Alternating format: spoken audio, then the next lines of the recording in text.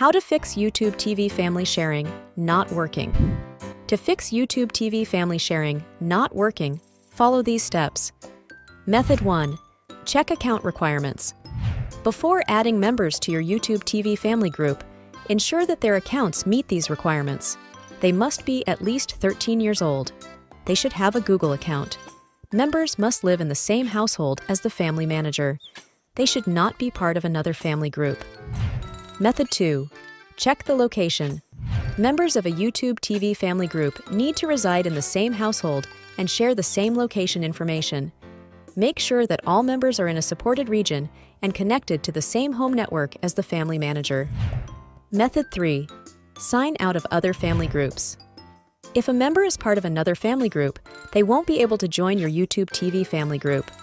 To address this, have them sign out of any other family groups by going to YouTube TV, clicking on Settings, Family Sharing Manage Leave Family Group, and confirming with their password. Method 4. Update the YouTube TV app.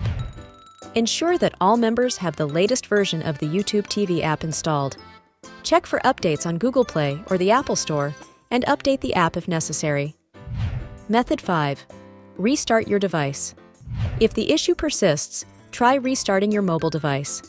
Restarting can help clear the device's memory and browser cache, potentially resolving the problem. By following these steps, you should be able to address the issue of YouTube TV family sharing not working effectively. I hope you found this video informative. Thanks for watching.